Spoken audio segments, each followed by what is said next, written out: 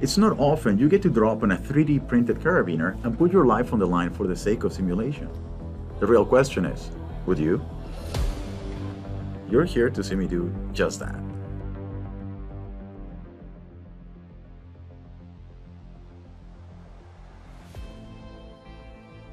So why am I doing this? About four years ago, Stratasys came up with a new material for their PolyJet printers, digital ABS. And I found out about it by watching this awesome video where they lift a sprinter van off of a 3D printed link.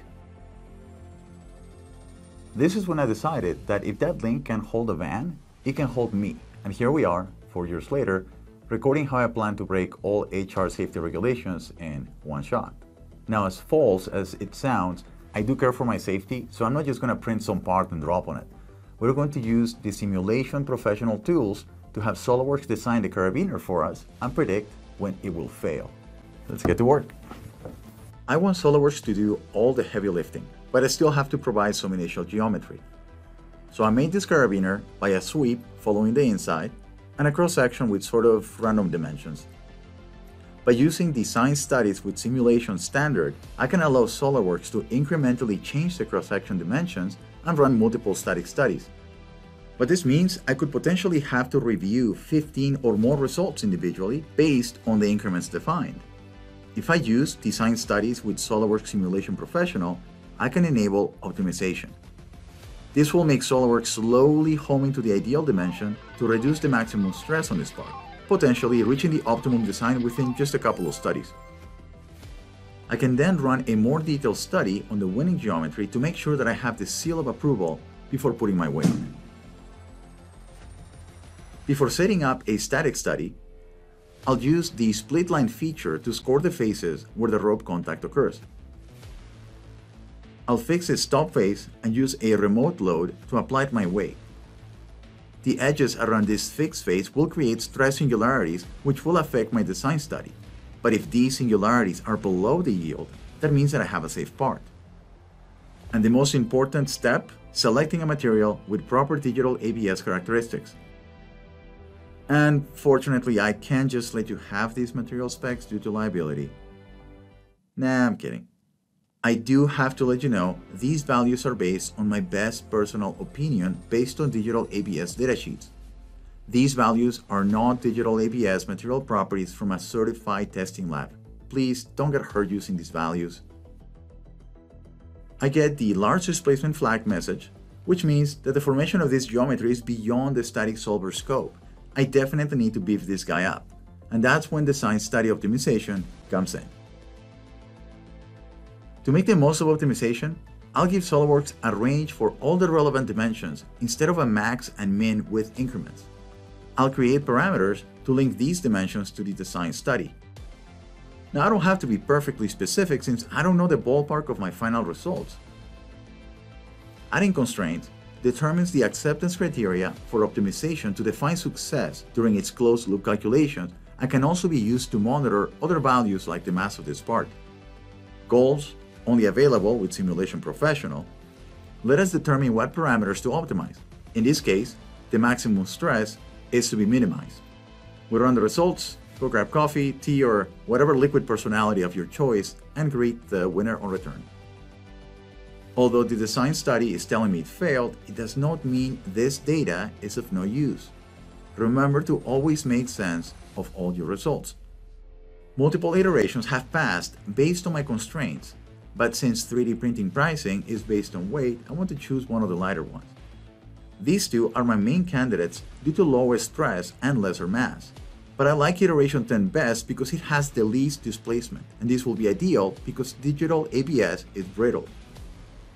And here it is.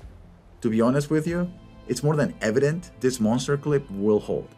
Putting my whole weight on it is not going to be that interesting. So I decided to kick it up a notch and use SOLIDWORKS Simulation Professional topology studies to reduce as much mass as possible and still keep it safe. By now you may be asking, Eric, are you dropping on this carabiner at all? Everything so far is static. Well, you're correct. Everything in this video will be static and I will eventually take a drop, but one step at a time. This is part one of the I'm Falling For You mini-series. Make sure you don't miss the dynamic drop by subscribing to our channel to get updates when we upload new videos. Now let's move to topology optimization.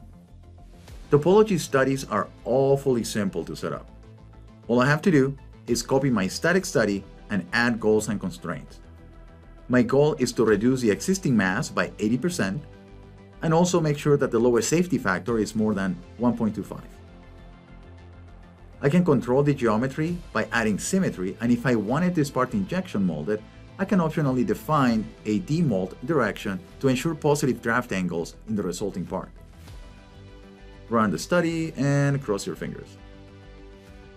The result shown is the ideal geometry for my converged constraints. Material plots let me change the slider to check lighter and heavier geometry, but this also means we're deviating from the converged results. Naturally, going to the lighter extreme can give you unrealistic geometries. Your engineering senses should be tingling the further you go into the lighter area. Also, switching plots displays what mesh elements were found to be unnecessary.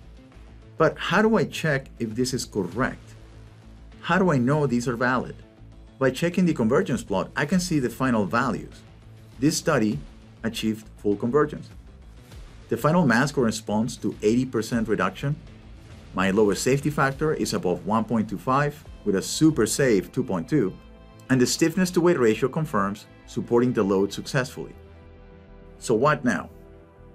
I can extract the geometry from results into a new configuration or file as a graphics, surface, or solid body.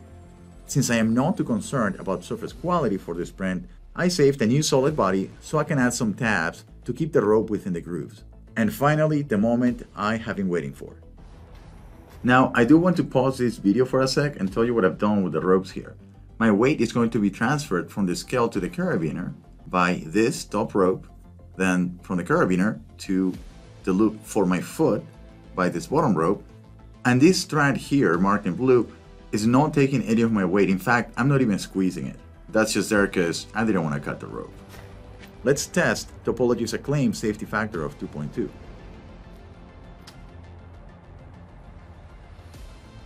Then just a little bit of foot action to prove I am off the floor, and go figure, Topology was right all along. Some of you may be curious to see what would happen if I tell Topology to reduce the mass by 90, 95, or maybe even 98%. If so, stay tuned for part 2 of the I'm Falling For You mini-series. Thanks for watching and don't forget to subscribe.